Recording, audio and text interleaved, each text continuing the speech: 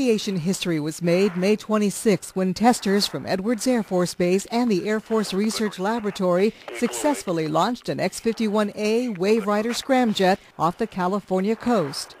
Based on preliminary data, after booster separation at 50,000 feet, the air-breathing scramjet vehicle approached Mach 5 at an altitude of more than 60,000 feet. The previous record was 12 seconds in the NASA X-43. Mr. Johnny Armstrong is the chief engineer of the Hypersonic Combined Test Force at Edwards and has worked for more than 30 years in the development of scramjet technology. This was a, a, a repeat experience for me to uh, be part of a control room activity of a hypersonic vehicle and uh, this one you approach with a lot of anticipation. You know how complicated, how challenging this particular trajectory was on the X-51 to fly into a very high dynamic pressure to get the conditions to start a scramjet. So this was a very much a challenge, something we were concerned about, and it made it successfully. To that point, started that engine and flew for a significant period of time at a Mach number approaching Mach 5. The X-51 was carried aloft to 50,000 feet by an Edwards B-52 Stratofortress over the Point Mugu Naval Air Warfare Center Sea Range. Flying at that altitude was just one of the challenges the B-52 crew had to face during the mission. Well, to get it into the launch box, we're at the upper envelope uh, edges for the B-52. We're at 50,000 feet. We're flying it uh, near our max Mach in a place where our aircraft doesn't really control very well.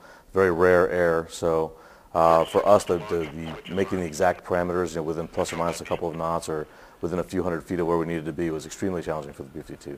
We had to fly the aircraft at minimum fuel, so every time, every minute that we're up there, we're just a few short minutes away from having to land immediately because we don't have enough gas to make it all the way back to Edwards. So uh, small changes in the uh, flight path or changes in our direction from anyone or any kind of conflict because we're flying through LA Center's airspace, which is full of a lot of airline traffic uh, could have ended the mission. So was, uh, you're always on a razor's edge for fuel, which I thought was uh, a unique challenge to the program as well. Major Sean Selly was one of the two navigators in the B-52. While he was responsible for releasing the X-51 at the right moment, he says that it was a team effort that made it all happen. Many hours of hard work and everyone from the control room personnel to the maintenance uh, to the cast of hundreds uh, supporting this mission to the engineers uh, making it all happen for that one moment in time. Right after the mission, that team started the task of reviewing all the flight data. We're starting to look at data today. We just are real anxious to get in there to look at some of the strange things that you see along a flight like this, to try to explain them.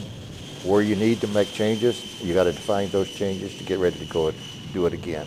Lieutenant Colonel Todd Venema is the director of the Hypersonic Combined Test Force. Well, everything we do at Edwards is flight test. And a lot of what we do is weapon systems and, and the, the short to middle term, helping the warfighter more directly. This is more of a long-term thing. The things that we're working on in the scramjet engine are going to benefit the warfighter uh, 15, 20 years from now when we're able to utilize this technology to bring new capabilities to the fight.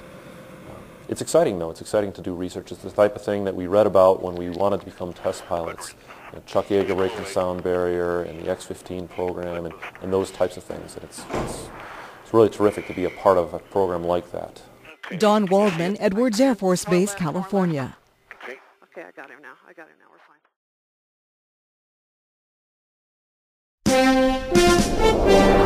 fine. This has been Dateline Edwards. If you have questions or comments, we'd like to hear from you please send us an email at channel.6 at edwards.af.mil.